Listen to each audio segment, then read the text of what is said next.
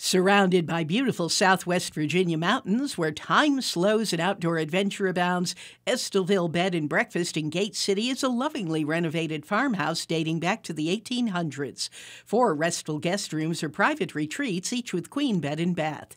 Spacious common areas exude relaxation with homemade breakfast served at your requested time and dietary needs. Specializing in true southern hospitality, catering to each guest's unique needs, Estillville Bed and Breakfast.